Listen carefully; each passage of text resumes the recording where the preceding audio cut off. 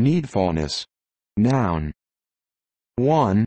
The property of being needful or necessary.